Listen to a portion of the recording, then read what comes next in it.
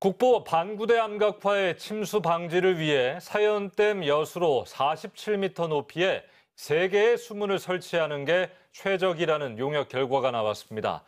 이를 두고 한편에선 암각화를 물에서 완전히 건져내지 못한다며 우려하고 있고 또 한편에선 식수 공급이 해결되지 않은 가운데 성급하게 수문부터 설치한다며 반발하고 있습니다. 전병주 기자의 보도입니다.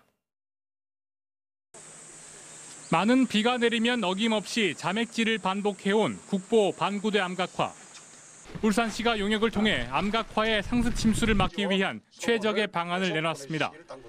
사연댐 여수로 47m 높이에 숨은 3개를 뚫어 많은 비가 내리기 전 물을 빼내 사연댐의 수위를 암각화가 침수를 시작하는 52.2m 아래로 유지하겠다는 겁니다.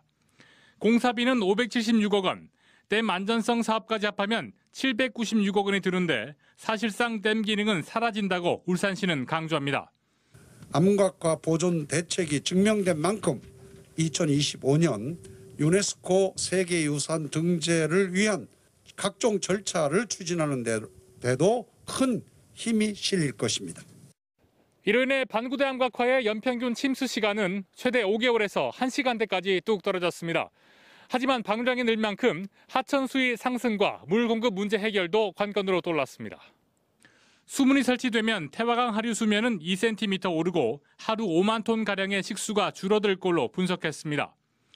이 부족분을 청도 우문댐에서 끌어오는 방안은 구미 해평 취수장 활용과 대구 수성구 지역 반발 등이 얽히면서 실타리가 풀리지 않고 있습니다. 통합 물관리 방안이기 때문에 이것이 진행한다는 것에 대해서는 우리가 의심할 바가 없습니다. 다만 시기가 문제일 수가 있다는 말씀인데 여기에 수문 설치는 2025년 준공 예정이지만 운문댐 관로 설치는 논의조차 이뤄지지 않고 있어 속도 조절이 필요하다는 목소리도 나오고 있습니다. 이런 가운데 일부 문화재 보호단체에선 사연댐 수문의 높이가 47m일 경우 지금과 거의 다를 바 없이 침수 빈도만 다소 낮출 뿐이라며 반발하고 있습니다. 무엇보다 새 정부 들어 물 문제 정책 기조의 변화가 예상되는 가운데 반구대 암각화 보존책이 또다시 정쟁이 휩싸여 공회전할 수 있다는 우려가 나오고 있습니다. UBC 뉴스 전명주입니다.